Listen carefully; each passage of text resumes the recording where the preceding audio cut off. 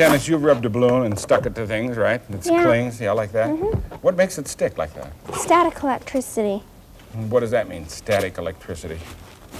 Well, it means that um, something is being um, drawn toward an object that has static electricity on it. Yes, but that is not what the word static electricity means. Oh. Static means uh, stationary, can't move. And when you rub a balloon on, especially on wool or fur, but paper also works, mm-hmm. you actually are rubbing electrons from the paper onto the balloon.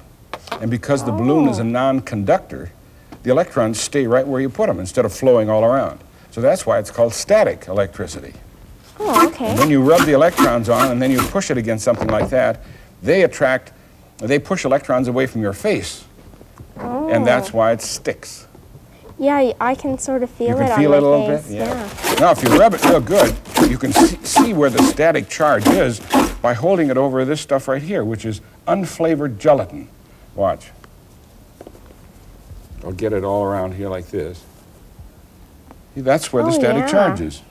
See how it'll fly off every once in a while, too? Yeah. Yeah. That's because they pick up an, uh, uh, uh, electrons and then are repelled.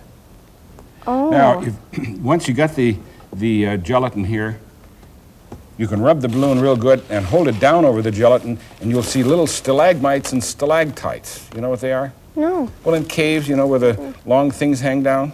Oh, yeah. Well, that's the sort of thing you can do with, with gel- unflavored gelatin and the static charge on a balloon.